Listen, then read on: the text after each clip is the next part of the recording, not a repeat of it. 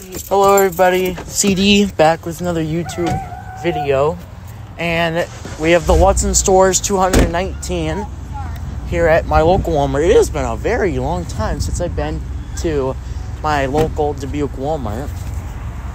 Oh, it's a little chilly out. I'd say around 45 degrees. I, I mean, I feel like it's chilly. It's pretty windy, but honestly, I'm kind of liking the weather we're having.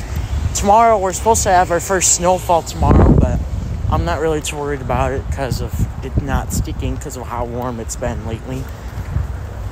Right? Yeah. Yeah, I'm not too worried about the snow.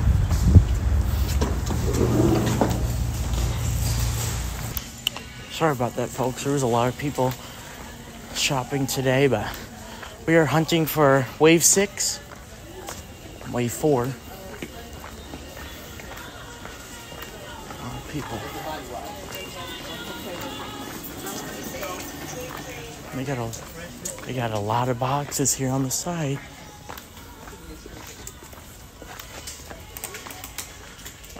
Wow. And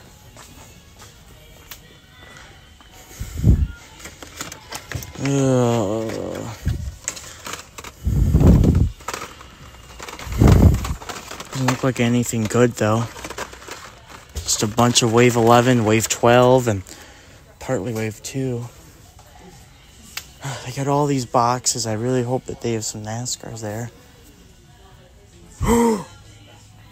what is this? Please tell me it's something good. And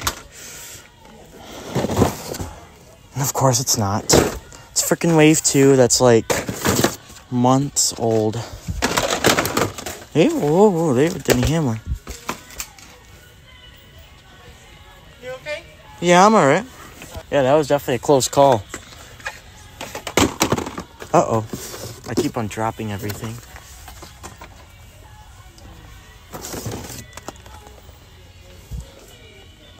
What a nice employee. Okay. Six again?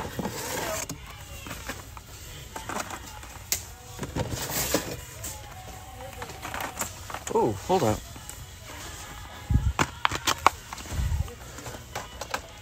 I am solid curious.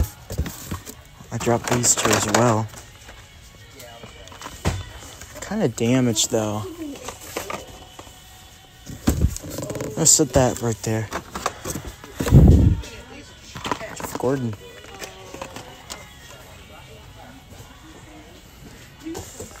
Got Hot Wheels too. Yeah.